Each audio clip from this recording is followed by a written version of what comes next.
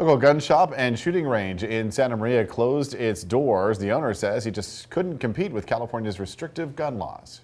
KSBY News reporter Alex Gonzalez is live in Santa Maria with reaction from the owner of Tactical Guns and Gear and customers. Alex?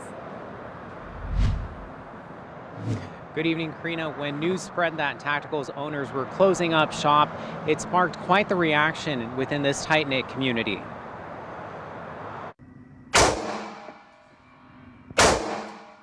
Erin Brogdon started shooting five years ago with the Tactical team. During that time, she says the local gun community has treated her like family. Just to think that it's gone now and I'm gonna, you know, miss seeing my family all the time, miss going in, hanging out, shooting.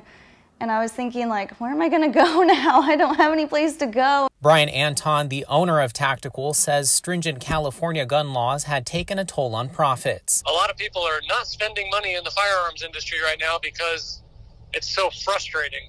California has some of the strictest gun regulations in the nation. Anton says purchasing ammunition has also become harder, buyers now having to go through background checks before buying bullets. Another gun shop owner in Santa Maria tells me he has not seen a drop in sales due to California's gun laws. It's just more difficult for people to get a gun in their hands. I, I don't attribute it entirely to um, the laws. I attribute it more to the political wins, you know. And while gun shop owners may be feeling the effects in their wallets, others in support of the regulations say it's for the public safety.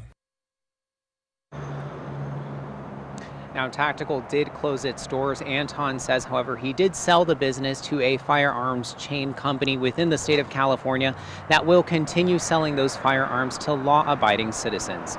Reporting live and local in Santa Maria, I'm Alex Gonzalez, KSBY News. Alex, thank you. The owner of Tactical also says they had contracts with several law enforcement agencies. This means they will have to look elsewhere to train and qualify their officers.